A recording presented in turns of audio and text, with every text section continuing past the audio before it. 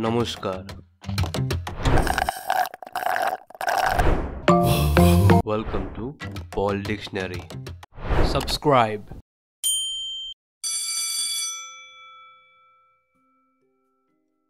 तो जनाब सोडिया ने पूछा कि रैन का क्या मतलब होता है? तो जनाब रैन का मतलब होता है कि फुर्की या एक प्रकार की छोटी चिड़िया।